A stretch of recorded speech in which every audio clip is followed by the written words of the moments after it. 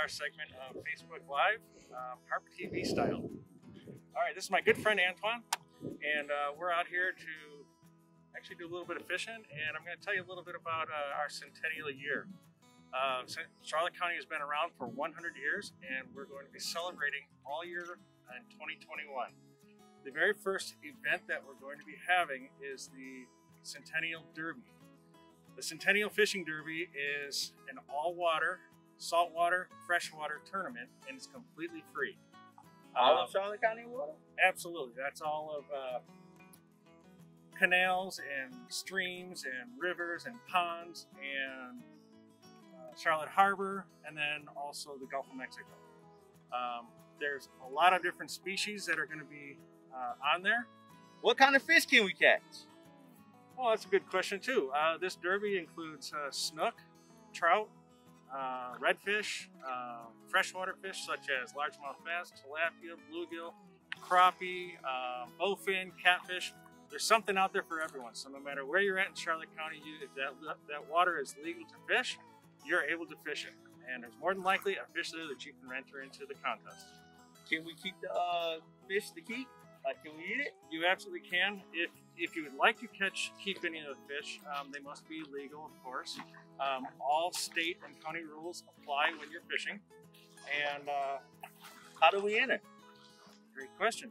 Uh, to enter, you're going to be, you go to one of the rec centers in Charlotte County or one of the libraries, and you go and you pick up one of these Centennial Fishing Derby measuring devices. And it has, there's a list of the rules on the back. There's a list of the fish and also the, the divisions of which you can fish. Um, we're be, we'll be giving away 12 different prizes uh, for the different divisions. Uh, and then also there's going to be a environmental catch, which is a five gallon bucket filled with trash, and there will be 10 winners for that. So wherever you're going to be fishing, if you walk around and you happen to notice a lot of trash around, go ahead, and put it in a bucket, take a picture of it with your measuring device in the picture, and you'll be able to enter in for a prize. Now, in order to to enter the catch into the tournament, there's a QR code on each one of these measuring devices. Scan this QR code with your phone and download the app.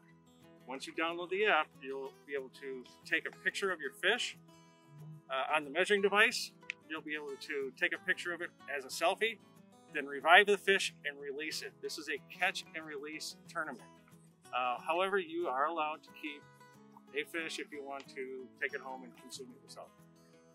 Um, for more information on this, you can go to charlottecounty100.com and there'll be a website there for all of the rules, uh, our sponsors, um, and any of the advertisements that you'd like to see. There's also going to be a calendar there for all of the other quarterly events.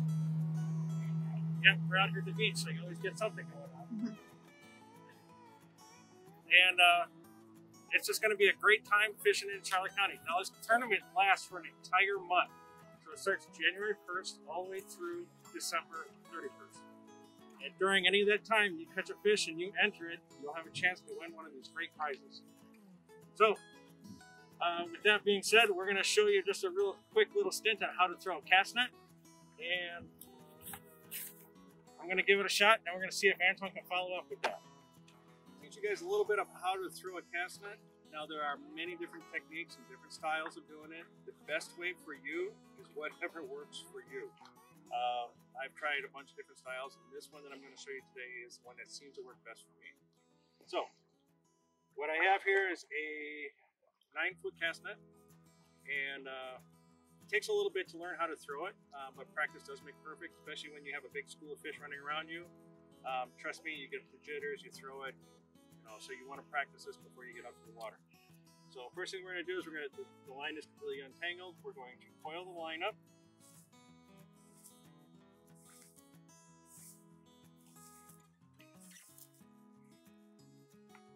You grab it by the, I guess, yoke. And you want to stretch this out as best you can. And then we're going to spread the net just a little bit to make sure there are no tangles in the bottom.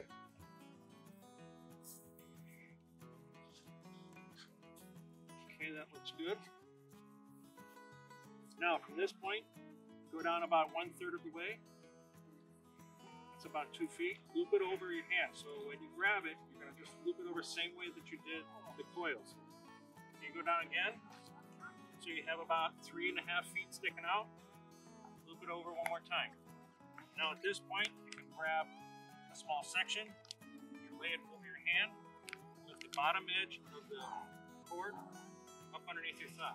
So now you have this sitting here. You're going to grab a section of the tail end in your hand. Now the proper technique for throwing this, or what helps me the best, is bringing it back, getting settled, letting that hang. If you swing it like this and it wraps around, chances are you're not going to get a decent cast. So if you bring it on back, kind of have it laying there, take a step forward, and it's you're just taking it and throwing it up like a, a big, big frisbee. So here we go.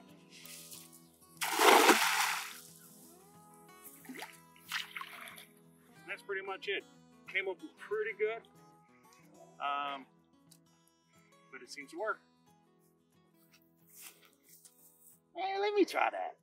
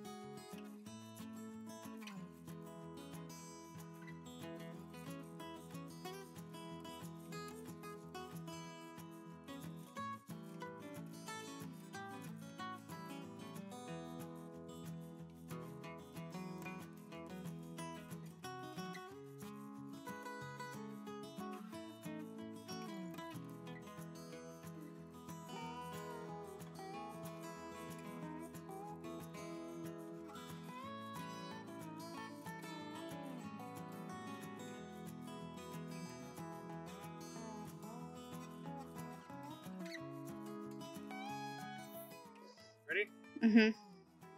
Antoine, All right, man. ni- nice throw. Morning.